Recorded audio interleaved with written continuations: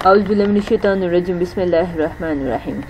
वालेकुम my name is Sana Sultana and this is my first lecture on the topic what is topology so now I am also a PhD scholar from Bahauddin Zakariya University Multan चलें, अब चलते हैं हम लोग ना topology के introduction पर चलते हैं। यूजली बच्चों से पूछा जाता है कि वट इज़ टोपोलॉजी टोपोलॉजी होती क्या है? तो बच्चे मैथमेटिकली बताने लग जाते हैं। नॉन एम्प्टी सेट विद फलाना विद ढिमकाना तो बहुत सारी चीज़ें बताने लग जाते हैं। तो आज मैं आपको वो छोटी सी ट्रिक बताऊँगी कि कि असल में टोपोलॉजी होता क्या है?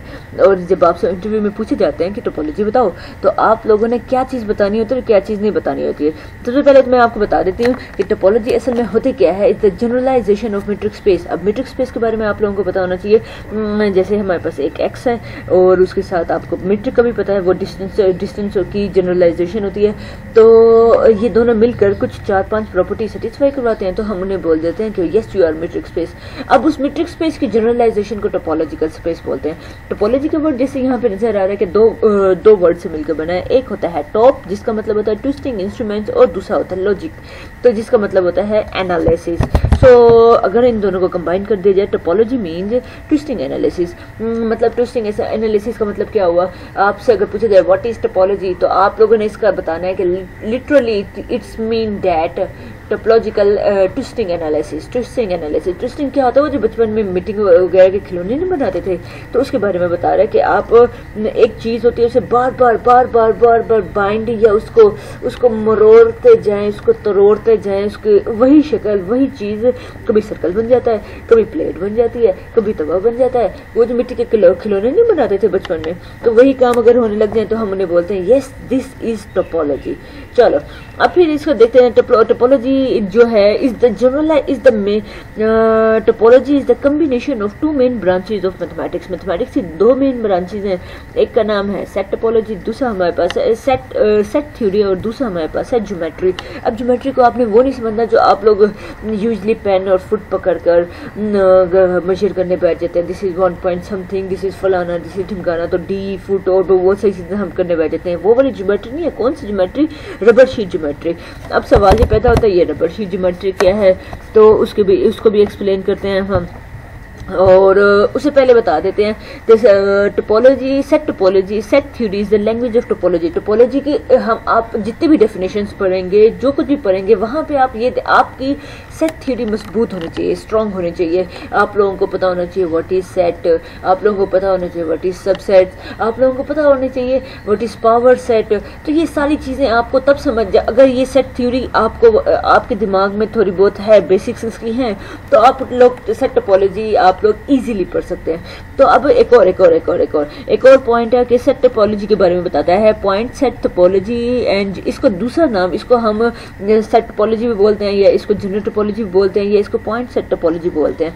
अब टोपोलॉजी की डेफिनेशन आ रही है, इसको जरा गौर से देखिएगा। Topology is an is another way in another way in another way is the qualitative geometry topology के बारे में ये भी बता दिए टोपोलॉजी क्या होती है? क्वालिटेटिव ज्योमेट्री दो तरह के एक आप एनालिसिस होते हैं, एक तो होता है क्वालिटी दूसरा होता है क्वांटिटेटिव तो क्वालिटेटिव एंड क्वांटिटेटिव में क्या फ़र्क होता है? क्वांटिटेटिव ये होता है जब आप, जो, कोई भी आप मेज़रमेंट करते हैं, बदले में आपको एक नंबर मिलता है। तो हम इसे बोलते हैं क्वालिटेटिव जैसे आपका हाइट आपकी वेट और भी बहुत सारी चीज़ें होती हैं, आप खुद सोच लें। तो और क्वालिटेटिव क्या होता है? जिसमें आपको कोई नंबर नहीं मिलता। मतलब मतलब चीज़ों की क्वालिटी मतलब ब्यूटी ऑनेस्टी और क्या होता है? और भी बहुत सारी चीज़ें कि चोर कितना बड़ा चोर है। अब कि हम ये नहीं कहते एक किलो चोर, दो किलो चोर, तीन किलो चोर, हम ऐसे नहीं कहते। हम कहते यू आर चोर. अच्छा फिर आप लोगों को अब ये पता चल गया होगा क्वालिटी ऑफ़ ज्योमेट्री ज्योमेट्री है, उसकी क्वालिटी को स्टडी करना असल में टोपोलॉजी होता है। आगे चलते हैं। The basic idea of of the basic idea is that if one geometry object geometric object अब बेसिक आइडिया वो यहाँ पे बता रहा है कि अगर एक geometric object is can be continuously transform into another एक ऑब्जेक्ट था, आप उसे एक अपने, जैसे एक मिट्टी का हम बोल बनाते हैं, हम उसको उसको थोड़ा सा हम दबा दें तो वो सर्कल बन जाता है, वो रेक्टेंगल भी बन सकता है, वो स्केयर भी बन सकता है, वो बहुत सारी शेप्स बन सकती हैं। The two objects considered are topologically same अगर एक एक बॉल थी बॉल सर्कल बन गया तो हम पहले बॉल था, फिर वो सर्कल बन गया तो हम इसे मिट्टी का पहले बॉल था, फिर वो सर्कल बन बन गया। आपने उसके ऊपर स्ट्रेच फोर्स लगाई और वो सर्कल बन गया। तो इन दोनों चीज़ों को वो बॉल और वो सर्कल दोनों को हम टोपोलॉजी की जबान में बोलेंगे। यू आर टोपोलॉजिकली सेम जैसे कि एक सर्कल है और a square are topologically equivalent तो ये दोनों हम आपस में क्या होता है? टोपोलॉजिकली इक्विवेलेंट होते हैं physically physically a rubber brand a rubber rubber band एक हमारे पास एक रबर है। Can be stretched into into the form of either circle और सर्कल कहते हैं एक रबर बैंड है। या तो आप उसे से सर्कल बनाओ, या उससे आप स्केयर बनाओ या similarly many other shapes can be viewed as topological space इसी तरह आप और भी बहुत सारी शेप सोच सकते हैं तो हम इन्हें क्या बोलते हैं? ये दीज आर टोपोलॉजिकली इक्विलेंट या और टोपोलॉजिकली सेम इफ़ अब ये फर्दर इसे एक्सप्लेन कर रहा है if we can take a piece of rubber अगर हमारे पास एक पीस ऑफ़ रबर है एंड ड्रॉ सर्कल और एक सर्कल ड्रॉ करते हैं on it then then stretch it और फिर हम उसे स्ट्रेच करते हैं मतलब पहले उसे सर्कल बनाया, फिर हमने उसे थोड़ा सा फैला कर उसे स्क्वेयर बना दिया, या रेक्टेंगल बना दिया, या कोई और जोमेट्रिक शेप बना दी। In usual geometry there is no change but topologically there happen a change आपको आँखों से तो दिखाई देगा कि कोई चेंज नहीं हुआ, लेकिन टोपोलॉजिकली आपने कोई यहाँ पर कुछ हुआ है।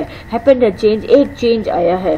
The circle deform into an ellipse circle आपका या तो एलिप्स की शेप में गया है, या किसी और शेप में depending on the force of stretching अब डिपेंड करता है कि आपने कौन सी फोर्स ऑफ़ स्ट्रेचिंग ऊपर लगाई है। This is what are rubber sheet geometry इसे बोलते हैं रबर शीट ज्योमेट्री इसमें आपके पास एक रबर होता है, आप उसे एक शेप में देखते हैं, फिर दूसरी शेप बनाते हैं, फिर तीसरी शेप बनाते हैं। इस तरह आप इसे देखते रहते हैं। तो ये हो गई रबर शीट ज्योमेट्री अब हमारे पास वो जो टर्म यूज़ होती है, दो सब्जेक्ट्स को ये बताने के लिए कि ये टोपोलॉजिकल इक्विवेलेंट है, उसे हम बोलते हैं टोपोलॉजी की जबान में होमोमॉर्फिक जैसे कि ऊपर सर्कल बनाया था स्केयर बनाया था, ये सर्कल बनाया था, उसके बाद हमने इलिप्स बना दिया था, इन्हें हम क्या बोलते हैं?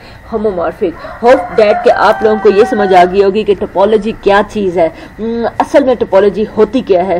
तो इनशाला अब टोपोलॉजी की डेफिनेशन के साथ, उसकी बाकी टर्म्स के साथ नेक्स्ट टॉपिक के साथ नेक्स्ट इसके लेक्चर में आपसे मुलाकात होगी। तब तक के लिए अपना बहुत ज़्यादा ख्याल रखिएगा। अल्लाह हाफिज़।